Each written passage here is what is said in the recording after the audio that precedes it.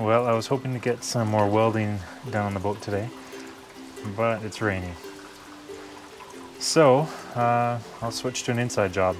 What I'm going to do is take the seats out of it and recolor them.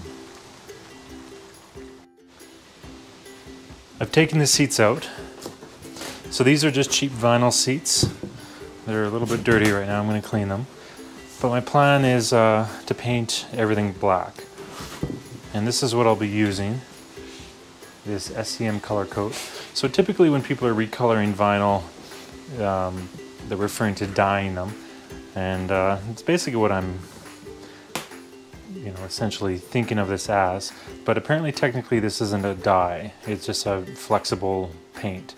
So anyway, this is what I'll be using. And then I also bought the uh, prep. So the prep goes on to clean and to soften the vinyl. And then hopefully this should be a fairly durable coating. Before I do it, I'm gonna take these apart. I'll probably paint the hinges. Uh, maybe, I'll think about that. But I'll take all the vinyl off, get it prepped, and get it sprayed. Now this is something that I've actually recovered a, or painted a vinyl roof on a car before, but I haven't done seats, but it should work fine.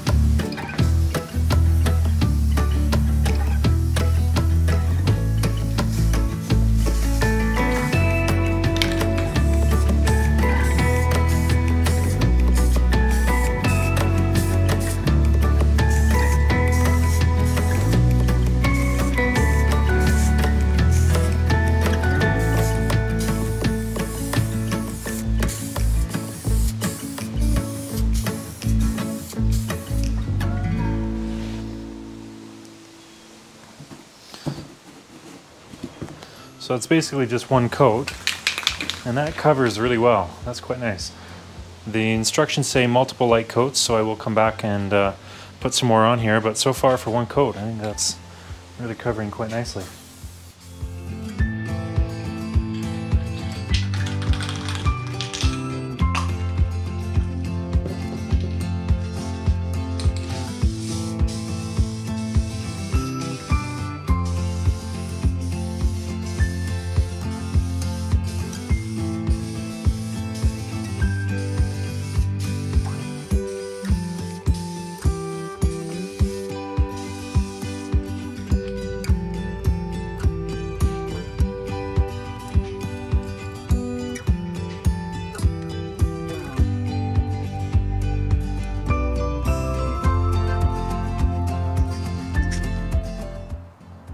It has finally stopped raining long enough to get the seats back in.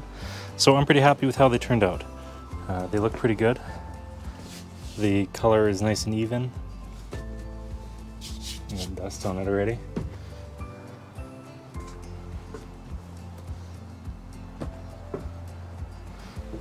So right now I think they look uh, they look great. The color change definitely worked nicely. We'll see how durable it is. If I have to do a few touch-ups for scrapes or scuffs or something, that would be fine. Uh, if it really starts wearing out, then uh, we'll see. Thanks for watching.